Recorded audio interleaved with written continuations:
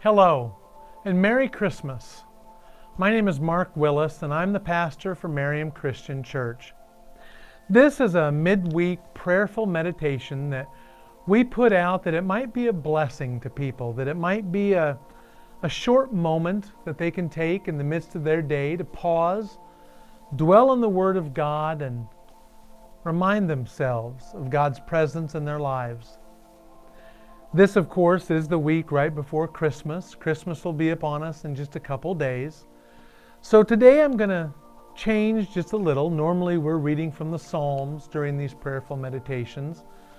But today I wanted to bring some different scripture to you. So let's get ready to hear this scripture by just relaxing for a moment, turning off other distractions, setting down other things that we might be doing right now, and for just a moment, let's turn our attention and our focus completely to God and God's Word.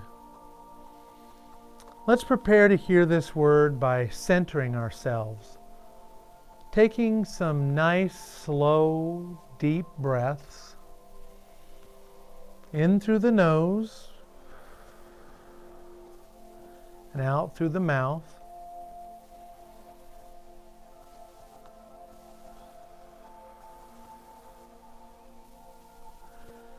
And as you do this, feel the stress of this Christmas season melt away. Feel it fade into the background. All of the responsibilities, the to do lists. We're just going to set those down for a minute. And instead, we're going to dwell with God.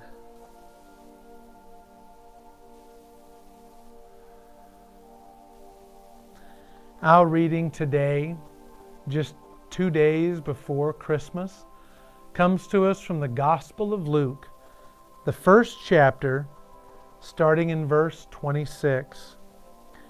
In the sixth month, the angel Gabriel was sent by God to a town in Galilee called Nazareth, to a virgin engaged to a man whose name was Joseph of the house of David.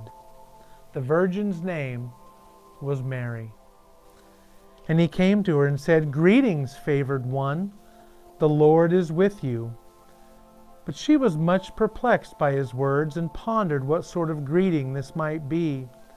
The angel said to her, Do not be afraid, Mary, for you have found favor with God. And now you will conceive in your womb and bear a son, and you will name him Jesus. He will be great and will be called the Son of the Most High. And the Lord God will give to him the throne of his ancestor David. He will reign over the house of Jacob forever, and of his kingdom there will be no end. Mary said to the angel, How can this be, since I am a virgin?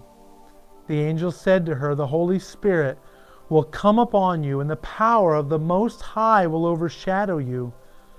Therefore, the child to be born will be holy. He will be called the Son of God. And now your relative Elizabeth, in her old age, has also conceived a son. And this is the sixth month for her who was said to be barren, for nothing is impossible with God. Then Mary said, Here I am, the servant of the Lord. Let it be with me according to your word. Then the angel departed her.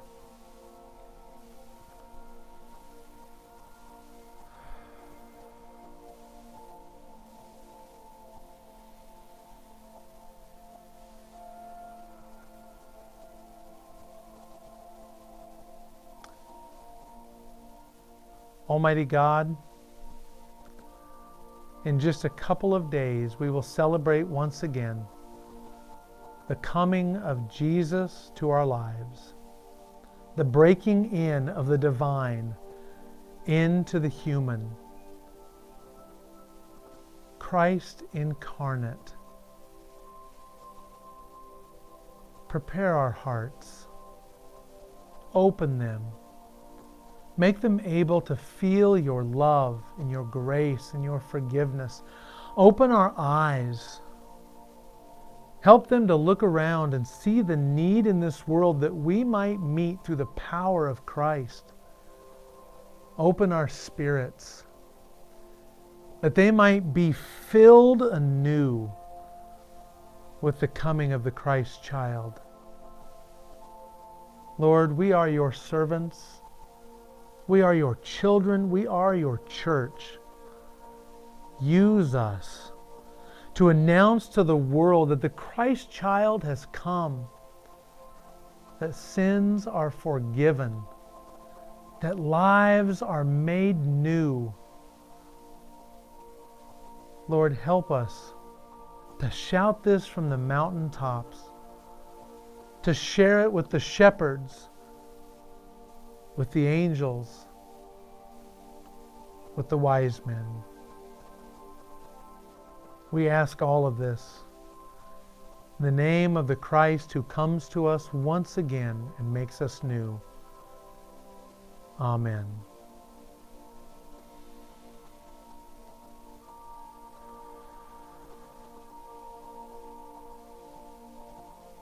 whatever this year has been, whatever this month might have been, whatever this week has been, I hope that you are blessed as Christmas comes upon us. I know that things have to be different this year. We aren't able to gather with everyone we want to gather with. Families have lost loved ones this year. But it is still the time of year when we pause and we celebrate the coming of Christ to our lives, the changing of everything. Go forth into this week, be blessed, and have a Merry Christmas. Amen.